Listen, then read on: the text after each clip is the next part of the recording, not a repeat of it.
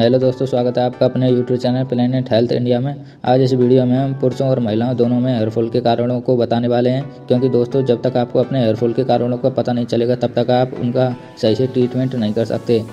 क्योंकि जब भी आप यूट्यूब पर हेयरफॉल से संबंधित वीडियो सर्च करते हैं, वहाँ पर आपको घरेलू रेमेडीज़ को भी बताते हैं, जो कि जब तक असर नहीं करेंगी, जब तक कि आपको अपने हेयरफॉल के सही कारणों का पता नहीं चल पाएगा। आज इस वीडियो में हम हेयरफॉल के मुख्य कारणों को बताने वाले हैं। तो चलिए वीडियो स्टार्ट करते हैं।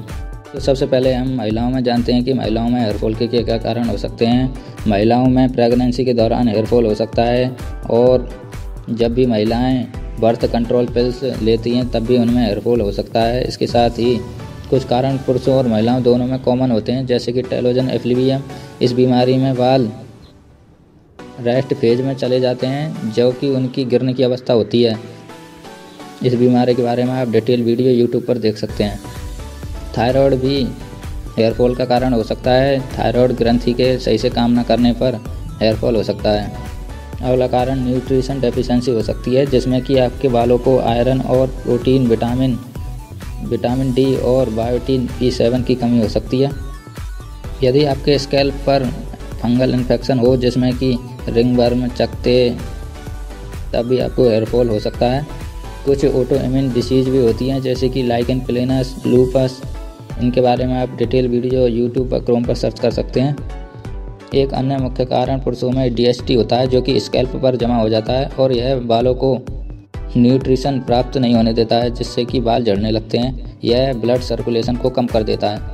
जिन लोगों का वेट अधिक होता है और उस वेट को कम करने के लिए वो डाइट पर रहते हैं, तब भी उनका हेयर लॉस हो सकता है, क्योंकि अचानक से वेट कम करने पर बालों को न्यूट्रिशन की कमी हो जाती है। कभी कभी देखा गया है दोस्तों कि जिन लोगों को टाइफाइड होता है टाइफाइड के कुछ महीने बाद भी उनको हेयर लॉस हो सकता है।